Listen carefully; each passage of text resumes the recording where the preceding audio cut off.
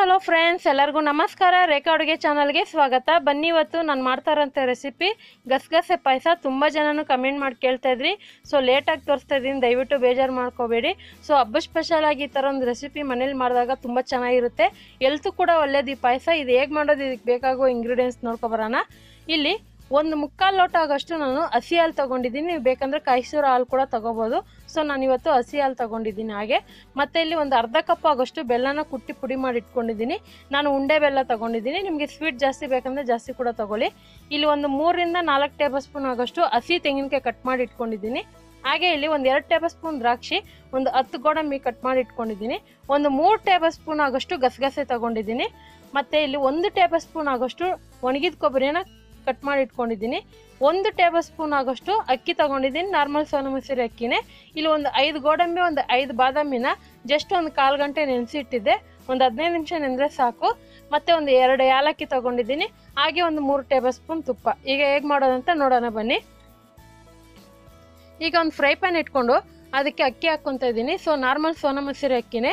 ಈ ಅಕ್ಕಿನ ಒಂದು ಜಸ್ಟ್ ಒಂದು ನಿಮಿಷ ಹುರ್ಕೊಳ್ಳಿ. ಕಲರ್ ಕೂಡ ಚೇಂಜ್ ಆಗುತ್ತೆ. ಅದಕ್ಕಂದ್ಬಿಟ್ಟು ನೀವು ಸೀಸೋಕೆ ಹೋಗಬೇಡಿ, ಅಂದರೆ ಫುಲ್ ಗೋಲ್ಡನ್ ಕಲರ್ವರೆಗೂ ಫ್ರೈ ಮಾಡೋಕ್ಕೆ ಹೋಗಬೇಡಿ.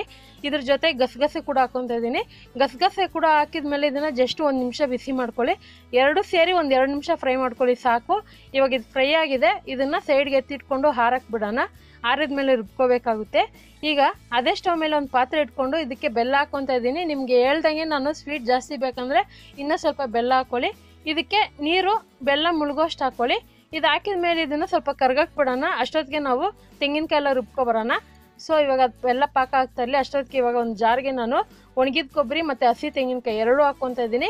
ಮತ್ತು ಇದಕ್ಕೆ ಗೋಡಂಬಿ, ಬಾದಾಮಿ ಹಾಕ್ಕೊತಾ ಇದ್ದೀನಿ ನೆನೆಸಿರೋದು. ಯಾಕಂದರೆ ರುಬ್ಬಿದಾಗ ಅದು ಕ್ರೀಮಿಯಾಗಿ ಆಗುತ್ತೆ ಮತ್ತು ಟೇಸ್ಟ್ ಕೂಡ ಚೆನ್ನಾಗಿರುತ್ತೆ. ಇದಕ್ಕೆ ಎರಡು ಏಲಕ್ಕಿ ಮತ್ತು ಹುರಿದಿರೋ ಅಂಥ ಗಸಗಸೆ ಅಕ್ಕಿ ಹಾಕ್ಕೊತಾ ಇದ್ದೀನಿ. ಸೊ ಇದೆಲ್ಲ ಹಾಕ್ಕೊಂಡು ಇದನ್ನು ಏನು ಮಾಡಬೇಕಂದ್ರೆ ಫುಲ್ಲು ತರ್ತರಿಯಾಗಿ ಫಸ್ಟ್ ಪುಡಿ ಮಾಡ್ಕೋಬೇಕಾಗುತ್ತೆ. ಯಾಕಂದರೆ ನೀವು ಡೈರೆಕ್ಟಾಗಿ ಇದಕ್ಕೆ ನೀರು ಇಲ್ಲಾಂದ್ರೆ ಹಾಲು ಮಿಕ್ಸ್ ಮಾಡಿ ರುಬ್ಬಕ್ ಹೋದರೆ ಅದು ಸರಿಯಾಗಿ ಪುಡಿ ಆಗೋದಿಲ್ಲ. ಅದಕ್ಕೋಸ್ಕರ ಫಸ್ಟ್ ಇದನ್ನು ತರ್ತರಿಯಾಗಿ ಪೌಡ್ರ್ ಮಾಡ್ಕೋಬೇಕಾಗುತ್ತೆ. ಇವಾಗ ನೋಡೋಣ. ನೋಡಿ ಇವಾಗ ತರ್ತರಿಯಾಗಿ ಪುಡಿ ಆಗಿದೆ ಅಲ್ವಾ? ಇದಕ್ಕೆ ನಾನು ಒಂದು ಅರ್ಧ ಲೋಟ ಆಗೋಷ್ಟು ಹಾಲು ಹಾಕ್ಕೊತಾ ಇದ್ದೀನಿ. ಹಾಗೆ ಇದಕ್ಕೆ ಒಂದು ಸ್ವಲ್ಪ ನೀರು ಕೂಡ ಹಾಕ್ಕೊಂಡು ಇದನ್ನು ಆದಷ್ಟು ಕ್ರೀಮಿಯಾಗಿ ನುಣ್ಣಗೆ ರುಬ್ಕೊಳ್ಳಿ. ಸೊ ಇದನ್ನು ಚಟ್ನಿ ರುಬ್ದಂಗೆ ತರ್ತರಿಯಾಗಿ ರುಬ್ಬಕ್ಕೆ ಹೋಗ್ಬಿಡಿ. ಆದಷ್ಟು ನುಣ್ಣಗೆ ರುಬ್ಕೊಳ್ಳಿ. ಸೊ ಇದು ರುಬ್ಬಿದಾಗಿದ್ಮೇಲೆ ನೋಡೋಣ. ನೋಡಿ, ಇವಾಗ ಇದನ್ನು ಓಪನ್ ಮಾಡ್ಕೊತಾ ಇದ್ದೀನಿ. ಸೊ ನಾನು ಹೇಳ್ದಂಗೆ ಆದಷ್ಟು ಇದನ್ನು ನುಣ್ಣಗೆ ರುಬ್ಕೊಳ್ಳಿ. ಇವಾಗ ರುಬ್ಬಿದಾಗಿದೆ. ಸೊ ಬೆಲ್ಲ ಪಾಕ ಕೂಡ ಆಗಿದೆ ಎಲ್ಲ ಚೆಕ್ ಮಾಡ್ಕೊಳ್ಳೋಣ. ಸೊ ನೋಡಿ, ಬೆಲ್ಲ ಪಾಕ ಕೂಡ ಇಟ್ಟಿದೆ. ಚೆನ್ನಾಗಿ ಕರಗಿದೆ ಬೆಲ್ಲ ಕೂಡ.